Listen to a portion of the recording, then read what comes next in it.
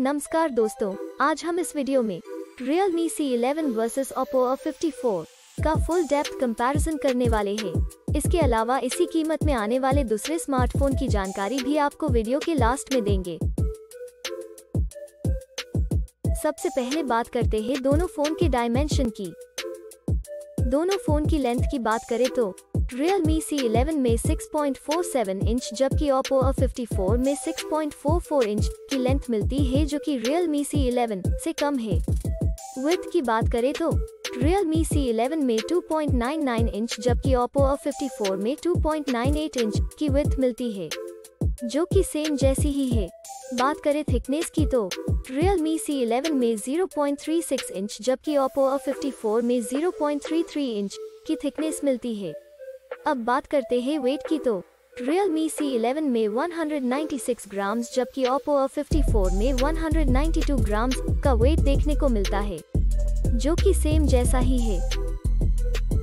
तो चलिए अब हम डिस्प्ले को कंपेयर करते हैं। डिस्प्ले टाइप की बात करें तो दोनों फ़ोन में सेम ही। इप्स एलसीडी की डिस्प्ले मिलती है। एस्पेक्ट रेशियो दोनों फ़ोन में सेम ही। 20 रेशियो 9 मिलता है। डिस्प्ले साइज़ की बात करें तो रियल मी सी इलेवन में 6.52 इंचेस जबकि Oppo A54 में 6.51 इंचेस मिलती है। डिस्प्ले रेजोल्यूशन दोनों फ़ोन में सेम ही।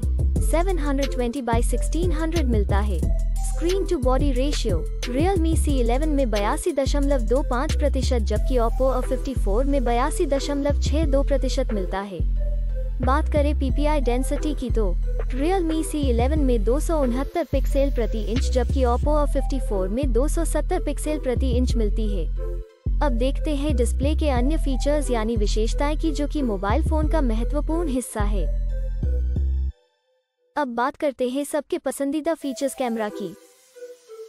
दोस्तों, सबसे पहले बात करें मैन कैमरा की तो Realme C11 में दो कैमरा देखने को मिलता है, जिसमें कि प्राइमरी कैमरा और आखिर में डेप्थ कैमरा देखने को मिलता है, और Oppo A54 की बात करें तो इसमें तीन कैमरा देखने को मिलता है, जिसमें कि प्राइमरी कैमरा मैक्रो कैमरा और आखिर में डेप्थ कैमरा देखने को मिलता है। बात करें वीडियो कैमरा की तो Realme C11 में नौ डिफरेंट टाइप के फीचर्स मिल जाते हैं।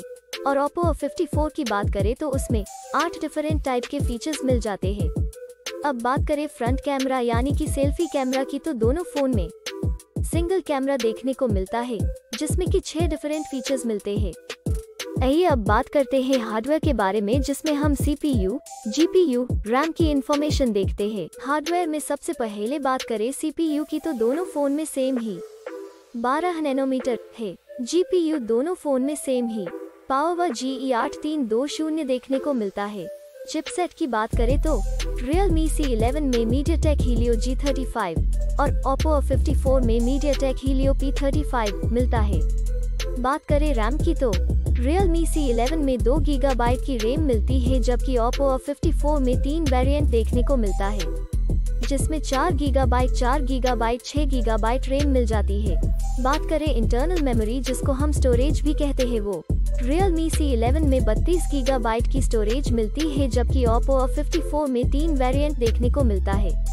जिसमें चौसठ गीगाबाइट 128 गीगाबाइट 128 गीगाबाइट स्टोरेज मिल जाती है। एक्सपैंडेबल मेमोरी दोनों फ़ोन में अप टू 256 गीगाबाइट है। ऑपरेटिंग सिस्टम दोनों फ़ोन में एंड्रॉइड V10 क्यूट देखने को मिलती है। बैटरी की बात करें तो दोनों फ़ोन में 5000 हज़ार देखने को मिलती है। आइए अब मेन फीचर को देखते हैं।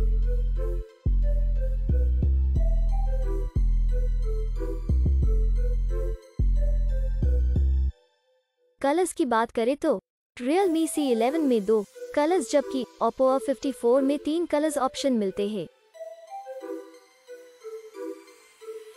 सब इन्फॉर्मेशन देखने के बाद बात करें प्राइस की तो Realme C11 में एक ही वेरिएंट देखने को मिलता है, जो कि दो रैम बत्तीस गीगाबाइट स्टोरेज के साथ सात हज़ार चार सौ निन्यानवे रूपीज में मिल जाता है। वही अगर बात करें ओप्पो A54 की तो उसमें तीन वेरिएंट देखने को मिलते हैं, जो कि चार गीगाबाइट रैम चौसठ गीगाबाइट स्टोरेज के साथ तेरह हज़ार चार सौ नब्बे रूपीज चार गीगाबाइट रैम एक सौ अट्ठाईस गीगाबाइट स्टोरेज के साथ चौदह हज़ार चार सौ नब्बे रूपीज छह गीगाबाइट रेम, एक सौ अट्ठाईस गीगाबाइट स्टोरेज के साथ शून्य रूपीज में मिलते हैं। दोस्तों, अब बात करते हैं प्रॉन्स एंड कॉन्स, यानी कि फ़ायदे और नुकसान की तो। Realme C11 में आठ, फ़ायदे और तीन, नुकसान देखने को मिलता है।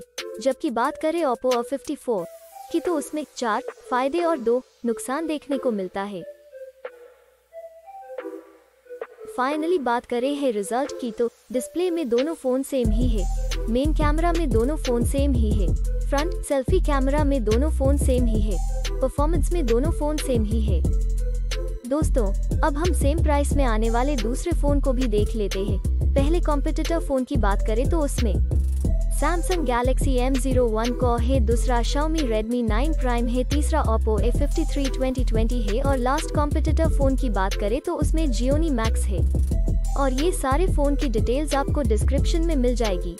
दोस्तों, अगर आपको ये वीडियो अच्छा लगा है या आपके किसी भी काम में आया है तो प्लीज़ लाइक करना मत भूलना।